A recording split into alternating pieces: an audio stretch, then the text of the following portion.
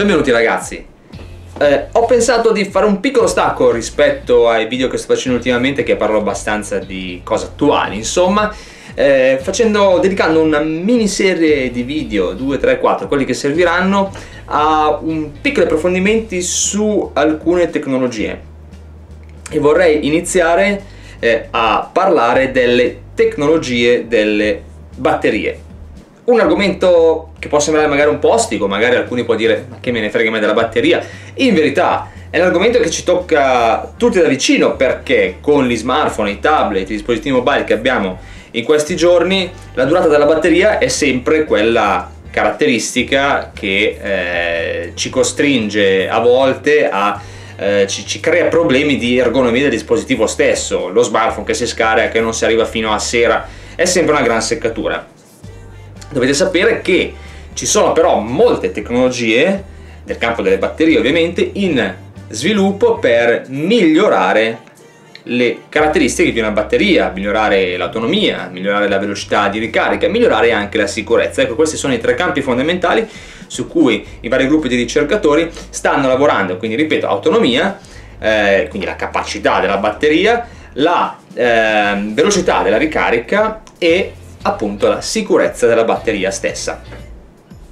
In questo primo appuntamento non voglio però parlare di quelli che sono gli sviluppi futuri, eh, perché ci saranno alcune cose eh, abbastanza scientifiche che ovviamente cercherò di eh, rendere i più semplici possibili che bisogna sapere per capire effettivamente quello su cui questi gruppi di ricercatori, questi eh, scienziati stanno lavorando. Quindi faccio una questo primo video, questa parte introduttiva che voglio raccontarvi in, in maniera semplice però come sono le batterie di oggi e come funzionano, quali sono le caratteristiche proprie. Le batterie, lo saprete tutti così, l'avete sentito dire tantissime volte, le batterie che c'è all'interno dello smartphone, all'interno del tablet, ma anche all'interno delle videocamere, di tutti i dispositivi portatili sono batterie a, a litio, agli ioni di litio. In verità ci sono batterie agli ioni di litio ai polimeri di litio. Diciamo che di la, le batterie ai polimeri di litio sono quelle uscite un po' dopo gli ioni di litio e sono un pochettino più flessibili, nel senso che eh, la soluzione eh, che viene utilizzata appunto per creare queste batterie eh, ha uno stato eh, solido, chiamiamolo così, che può essere manipolato in eh, forme più eh, consone all'uso in dispositivi mobile. In altre parole, come dimensioni, come caratteristiche fisiche, la tecnologia dei polimeri di litio rispetto a quelle di ioni si può plasmare, si può creare in quelle batterie sottili che vediamo all'interno dei nostri smartphone. Ma come funziona la tecnologia eh, al litio? Perché sono tecnologie basate sulla chimica del litio. Come funziona una batteria in generale? Eh, per dare energia ai nostri dispositivi. Semplificando al massimo, immaginate di avere un corpo creato da due estremità, un anodo e un catodo, l'anodo è il polo positivo, il catodo è il polo negativo, all'interno ci sono appunto questi ioni di litio caricati positivamente che si muovono dall'anodo al catodo all'interno di una sostanza chiamata elettrolita. Durante questo passaggio, trasportando una carica positiva, rilasciano appunto energia, eh, energia che viene rilasciata al circuito e che quindi permette ai nostri dispositivi di funzionare.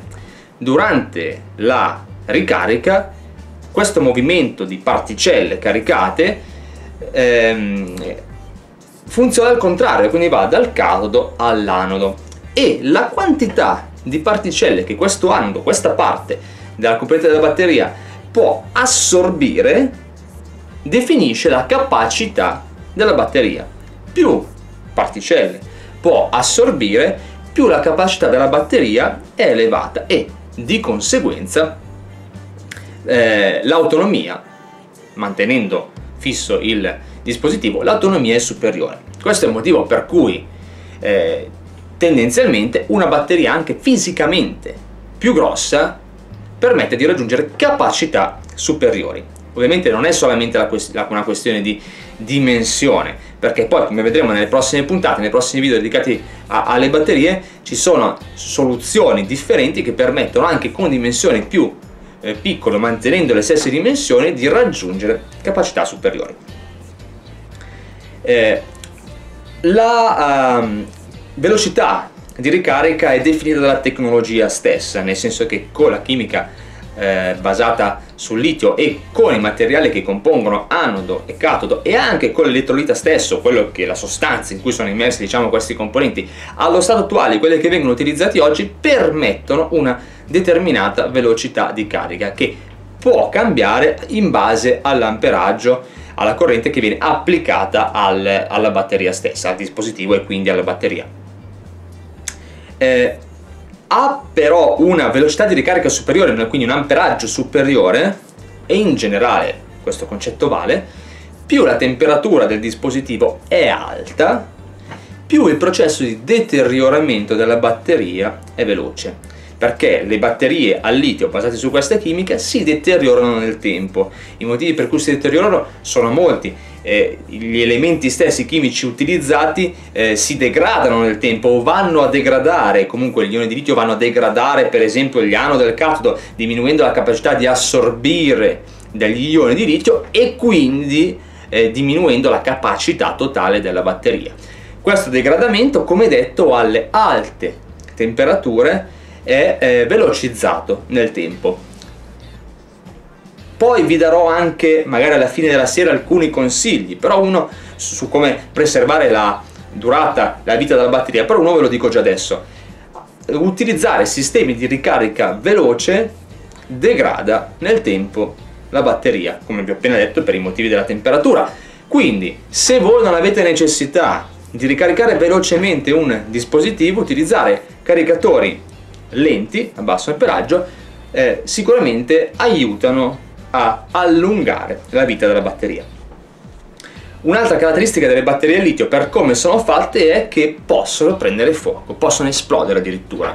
I motivi per cui possono appunto infiammarsi sono cortocircuiti, eh, sono surriscaldamento e anche il danneggiamento fisico, proprio perché la chimica, torniamo sempre a quel discorso, utilizzata eh, in determinate circostanze può creare delle eh, soluzioni infiammabili e quindi di conseguenza poi in base alla situazione, a un danneggiamento, eh, a dove si trovano, si possono creare delle camere, eh, de delle zone eh, che si riempiono di queste soluzioni infiammabili fino ad arrivare al punto che esplodono. Abbiamo in verità, insomma, mm, diciamo che non è, non è che succede tutti i giorni, i produttori utilizzano sistemi per evitare cortocircuiti, per evitare surriscaldamenti e quant'altro, però abbiamo visto che è già successo, qualche volta è successo perché se il sistema anche di carica e di scarica è difettoso può creare soluzioni in cui la batteria di fatti prende fuoco, si danneggia e